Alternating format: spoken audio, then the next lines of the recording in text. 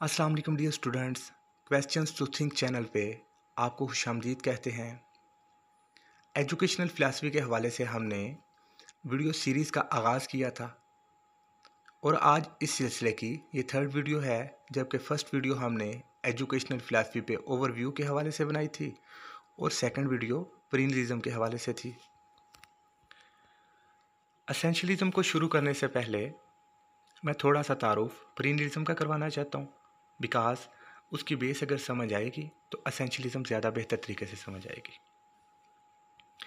प्रीनलिस्ट ये कहते थे कि हमें बच्चों को वो नॉलेज या वो इन्फॉर्मेशन इम्पार्ट करनी चाहिए, जिसमें आज तक कोई गलती साबित नहीं हुई। जो बिल्कुल करेक्ट चलती आ रही है शुरू से लेके अब तक। और इस बेसिस पे एडलर और हचिन्स ने ग्रेट बुक्स के नाम से एक प्रोग्राम शुरू करवाया, बल्कि करिकुलम इंट्रोड्यूस करवाया। और ये समझा गया कि ये ऐसी बुक्स हैं जिनमें कोई मिस्टेक नहीं है और ये ही बच्चों को सिर्फ़ पढ़ानी चाहिए, चाहे दुनिया पे वो किसी कोने में भी हों। लेकिन असेंशलिस्ट क्या कहते हैं?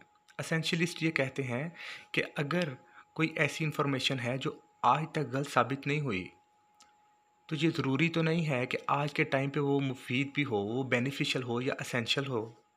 हो सकता है आज के टाइम पे वो बेनिफिशियल ना हो। मिसाल के तौर पे हमने बात की थी कि एक मंजिल पे हम जाना चाहते हैं और उस मंजिल पे जाने के चार रास्ते हैं। वो चार के चार रास्ते आज तक गलत साबित नहीं हुए। लेकिन हो सकता है वो बहुत डिस्टेंस से हमें वहाँ पे पहुँचना पड़ता हो और वो काफ़ी ज़्यादा डिफ़िकल्ट हो। तो बेहतर नहीं है कि कोई शार्टकट अगर रास्ता जाता है आज के टाइम पे, हमें पता चला है तो हम उस रास्ते चले जाएँ। तो असेंशलिस्ट यही कहते हैं कि जो शार्टकट है, जो इजी है उससे चलो और सक्सेसफुल हो जाओ। बनस्पत इसके कि आप करेक्ट के पीछे लगे रहो और बहुत ज़्यादा आपको टाइम आपका वेस्ट होता रहे। तो हम शुरू करते हैं बेसिकली इसी बेसिस पे। असेंशलिज्म को असेंशलिज्म इंट्रोड्यूस हुई अर्ली नाइनटीन थर्टीज़ में और इसको इंट्रोड्यूस करवाया विलियम बैगले ने। इसका चीफ जो प्रोपोनेंट है। इसके अलावा अदर प्रोपोनेंट्स में थॉमस ब्रिक्स और फ्रेडरिक ब्रीड हैं। प्रीनलिज्म बेस करती थी सिर्फ़ रियलिज़म पे। यानी ये अक्सर क्वेश्चन पूछा जाता है कि प्रीनलिज्म की बेस क्या है? तो लोग इस मिसकंसेप्शन का शिकार हैं कि शायद आइडियलिज़म है, लेकिन रियलिज़म उसकी बेस है। और उसके हवाले से मैंने लॉजिक दी थी अपनी लास्ट वीडियो में, जो प्रीनिलिज्म पे है। उसका लिंक जो है वो मैं डिस्क्रिप्शन में पेस्ट कर सकता हूँ। तो अभी हम बात करते हैं कि असेंशलिज्म कैसे आइडियलिज्म से रिलेट करती है और कैसे रियलिज्म से रिलेट करती है। अब आइडियलिज्म वाले ये कहते हैं कि हर चीज़ जो है, उसके अंदर एक बेसिक एसेंस है। हमने ये बात पहले भी की थी। बेसिक एसेंस से क्या मुराद है कि जब चीज़ों को स्पिरिचुअल वर्ल्ड से, इस मटेरियल वर्ल्ड में भेजा गया तो वहाँ पे कुछ सांचे बने पड़े थे कि उन सांचों में से ये बन बन के आई। जैसे इंसान डिफरेंट होते हैं तो ये इंसान किसी एक सांचे से वैसे बने हैं, ये आइडियलिज्म वाले कहते हैं। और वो सांचों से जब इधर भेजे गए तो आप देखें कि कितने इंसान डिफरेंट हैं हाइट डिफरेंट होती है कलर डिफरेंट होता है, लेकिन हम सबको इंसान क्यों कहते हैं?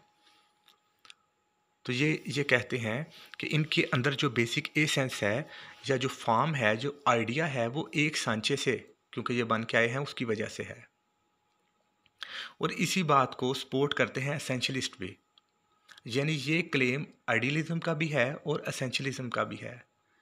इसलिए हम ये कह सकते हैं कि असेंशलिज्म जो है वो आइडियलिज्म से इवाल्व हुई है। सेकंड बात क्या है कि आइडियलिज्म वाले भी ये कहते हैं कि कॉग्निटिव डेवलपमेंट या मेंटल डिसिप्लिन पे वो ज़्यादा फोकस करते हैं कि थिंकिंग को ज़्यादा फोकस किया जाए।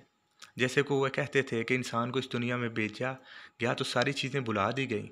अब उसके माइंड के अंदर वो पोशीदा हैं, जितना ज़्यादा वो सोचेगा, उतना ज़्यादा बेहतर हो जाएगा, उतना ज़्यादा वो उसको चीज़ें याद आ जाएँगी। तो असेंशलिज्म वाले भी यही कहते हैं कि मेंटल डिसिप्लिन यानी थिंकिंग को डेवलप करने पे ज़्यादा फोकस किया जाए। इसके बाद असेंशलिज्म और आइडियलिज्म की एक और सेम खूबी है कि ये एब्सोल्यूट वैल्यूज़ पे बिलीव करते हैं कि ये जो वैल्यूज़ हैं, ये चेंज नहीं हो सकती, ये सेम हैं और हमेशा से हैं और हमेशा तक रहेंगी और फिक्स हैं। अब रियलिज्म से कैसे? असेंशलिज्म रिलेट करती है। असेंशलिस्ट और रियलिस्ट में जो सेम बात है, वो ये है कि असेंशलिस्ट ये कहते हैं कि इंसान के लिए ये बहुत ज़रूरी है कि वो अपने पोटेंशियल्स को रियलाइज़ करे। लेकिन वो पोटेंशियल्स को रियलाइज़ कैसे कर सकता है? वो रियलाइज़ कर सकता है एक्सटर्नल वर्ल्ड के साथ इंटरेक्शन करके। और जो एक्सटर्नल वर्ल्ड है, ये इंडिपेंडेंट है उससे। मिसाल के तौर पे, आप एक दरख्त है तो आप दरख्त को अपनी सोच के मुताबिक उसका नाम चेंज नहीं कर सकते, उसकी क्वालिटीज़ को चेंज नहीं कर सकते। यानी जो उसमें खूबियाँ हैं, आपने अपने माइंड में उनको सोचना है, ना कि अपने माइंड के मुताबिक उसको चेंज कर देना सो एक्सटर्नल वर्ल्ड बेसिकली आप पे इन्फ्लुएंस करती है, वो आपसे इंडिपेंडेंट है और आपकी डेवलपमेंट में वो आपको सपोर्ट करती है। So this is similar to realism इसलिए हम कह सकते हैं कि असेंशलिज्म जो है, वो रियलिज़म से इवाल्व हुई है। इसके अलावा असेंशलिज्म और रियलिज़म के जो एजुकेशन के करिकुलम के सब्जेक्ट हैं, वो मैच करते हैं, जिनमें मैथ और साइंस है। अब आगे बात प्रिंसिपल्स के हवाले से। तो टोटल फोर प्रिंसिपल्स हैं, जो इम्पोर्टेंट हैं असेंशलिज्म के। फ़र्स्ट है कि आप बेसिकली जो बच्चे हैं, उनके, वो अगर विलिंग ना भी हों सीखने के लिए, वो विलिंग नहीं है डजेंट मैटर आप उनको जो हार्ड वर्क है, उस प्रोसेस से गुजारें। जितनी भी ज़िंदा चीज़ें हैं, जिनमें लाइफ है, उनमें इंसान वाहिद वो चीज़ है जो खुद पे सेल्फ कंट्रोल हासिल कर सकती है। और आपने देखा होगा बहुत से टीचर्स ने कि बच्चे जो हैं, वो अपनी ख्वाहिशात को काबू करते हुए, अपने इंटरेस्ट को काबू करते हुए हार्डवर्क करते हैं और डिसिप्लिन का मुजाहरा करते हुए कामयाब हो जाते हैं। सेकंड प्रिंसिपल है कि इनिशिएटिव हमेशा टीचर को लेना चाहिए। क्यों? क्योंकि टीचर ज़्यादा एक्सपर्ट है एक्सटर्नल वर्ल्ड के हवाले से। चीज़ों के हवाले से वो ज़्यादा माहिर है, वो ज़्यादा बेहतर समझता है कि क्या ज़रूरी है बच्चे के लिए। और ये कहते हैं कि जब आप हार्ड वर्क करेंगे ना तो आपका इंटरेस्ट ऑटोमेटिकली डेवलप हो जाएगा उस सब्जेक्ट में। यानी ये ज़रूरी नहीं है कि आप इंटरेस्ट को फॉलो करें, बल्कि आप हार्ड वर्क करें तो इंटरेस्ट आपका पैदा हो जाएगा, वो काज बनेगा आपके इंटरेस्ट के लिए। मिसाल के तौर पे आप में से बहुत से लोग जो मेरी वीडियो सुन रहे हैं, उनका सब्जेक्ट एजुकेशन शायद ना हो, कोई और सब्जेक्ट हो तो एजुकेशन को अभी उन्होंने शुरू किया हो तो आप देखेंगे कि काफ़ी लोगों को इसमें इंटरेस्ट ज़्यादा डेवलप होना शुरू हो गया होगा।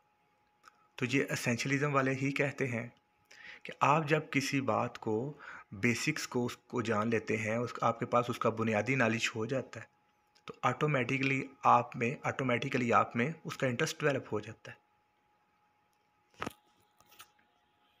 थर्ड प्रिंसिपल है कि जो सब्जेक्ट मैटर है, ये बहुत इंपॉर्टेंट है उसको समझना। क्योंकि सब्जेक्ट मैटर बेसिकली एक्सप्लेनेशन है एक्सटर्नल वर्ड की रियल वर्ड की। और आप जितना ज़्यादा उसको समझेंगे, उतना ज़्यादा आप कामयाबी के रास्ते पे होंगे। और ये बात दोबारा से रियलिज़म के करीब करीब है कि एक्सटर्नल वर्ड से रिलेटेड है। सो एक्सटर्नल वर्ड का जो इन्फ्लुएंस है, वो इंसान को सेल्फ डिसिप्लिन बनाता है। इसके बाद जो दूसरी बात है कि इंसान का जो जो भी उसने सीखना है, इसमें बेहतरीन जो उसके पास चीज़ें हैं, वो जैसे प्री लिस्ट कहते थे कि ग्रेट बुक्स हैं।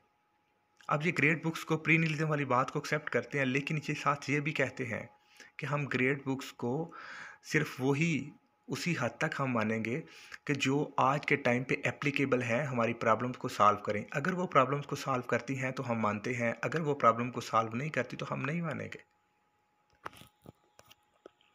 और लास्ट है जी, कि जो टीचिंग मेथड हैं, वो क्लासिकल रहने चाहिए ट्रेडिशनल रहने चाहिए। लर्निंग बाय डूइंग को ये एक्सेप्ट करते हैं, लेकिन इतना नहीं एक्सेप्ट करते। क्योंकि ये कहते हैं कि लर्निंग बाय डूइंग को आप हर जगह पे अप्लाई नहीं कर सकते जनरलाइज नहीं कर सकते। बहुत सी ऐसी बातें होती हैं जिनको लर्निंग बाय डूइंग के थ्रू नहीं सीखा जा सकता। जैसे हमने बात की थी, अगर कुदरती आफात जो हैं, उनकी बात की जाए तो आप उसको लर्निंग बाय डूइंग स्कूल में नहीं कर सकते। वो रियल लाइफ सिचुएशन है ऐसी। सो आप सिर्फ़ समझा सकते हैं किसी हद तक। इसके अलावा प्रीनिज़म से ये कैसे डिफ़र करती है? पहली बात तो ये कि ये उससे कम कॉग्निटिव डेवलपमेंट इंटेलेक्चुअल डेवलपमेंट पे फोकस करती है। जैसे वो कहते थे कि सारी ग्रेट बुक्स को पढ़ाएँ और ये कहते हैं कि जो आज के टाइम पे ज़रूरी हैं, बस वो पढ़ाएँ। दूसरी बात, ये प्रोग्रेसिविज्म से काफ़ी करीब है। ये कहते हैं कि लर्निंग बाय डूइंग को होना चाहिए इंटरेस्ट को भी फोकस करना चाहिए। लेकिन हमें जहाँ पे उसकी ज़रूरत है, उतना रखें, उसके अलावा छोड़ दें। इसके अलावा ये प्रीनिलिज़म से काफ़ी मैच करती है दोबारा से। और कहती है कि प्रीनिलिज़म की वो बुक्स जो आज के टाइम पे हमारी प्रॉब्लम को सॉल्व कर सकती हैं, हम उनको फोकस करेंगे, वरना नहीं करेंगे। अगर आपको आज का लेक्चर अच्छा लगा है तो मेरी वीडियो को लाइक करें और मेरे चैनल को सब्सक्राइब करें। शुक्रिया।